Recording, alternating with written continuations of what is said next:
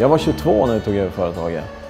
Fick förfrågan av den, den gamla ägaren om att gå in och, och, köpa det här. Och jag och min kollega Fredrik som är delägare gick och frågade två andra personer för vi kände oss lite väl unga kanske för att hoppa på det då. Men nu efter sex år då köpte vi ut de andra två så att i, i sex års tid så har vi varit två stycken som, som har varit ägare av det. Jag var helt inne på att bli fordonsmekaniker men eh, jag tyckte att det lockade lite mer ändå med VVS-biten. Så att jag helt enkelt bara hoppade på. Jag har ingen släkt eller någonting som är inne i VVS men jag hoppade på det och gick VVS-programmet.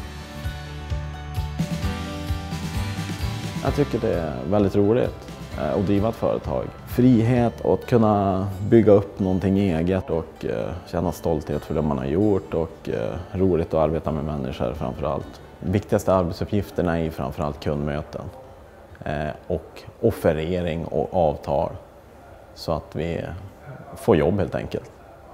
Örnsköldsvik är nog en av de mest rörmokartätaste städerna. Alltså det är väldigt många rörfirmor, väldigt många mindre rörfirmor. Så konkurrensen är, den är hård, så är det. Kunderna frågar ju väldigt många om, om samma offerter och, och, och sådant, men eh, ja, det går.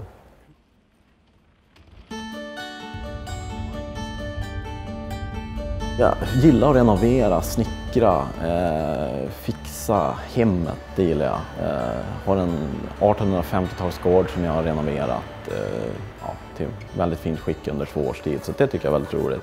Eh, och sen är det barnen. Den äldsta är tre och ett halvt och den yngsta är ett.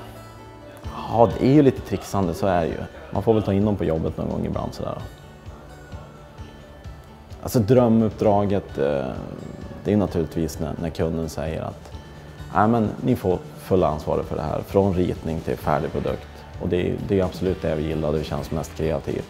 Designa badrummet, de får vara med och välja naturligtvis och samtycka, men, men vi får ändå ta totalansvaret med underentreprenörer och genomföra uppdraget.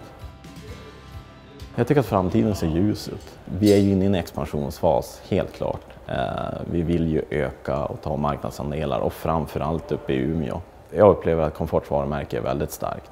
Eh, och förknippad med kvalitet framför allt.